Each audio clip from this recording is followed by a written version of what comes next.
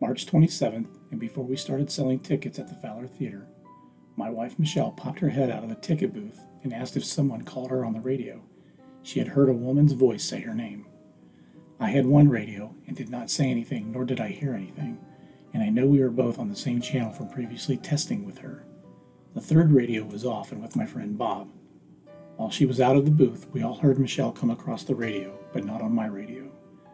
She went back into the ticket booth, and then she heard, Michele, is that you? I know it's you. Again, I heard nothing on my radio. I am not ruling out someone on the same frequency, but I find it odd that they used her name and that I did not hear anything on my radio on the same channel.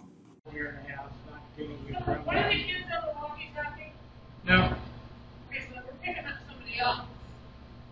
So, I don't know, I just heard there's somebody came through. Yeah, it's probably goes. So I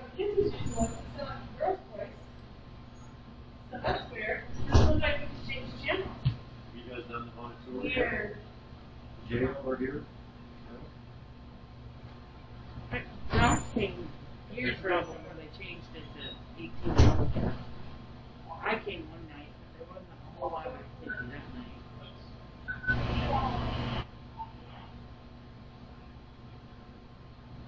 Did do that? Oh, Yeah, did you do that? There's someone,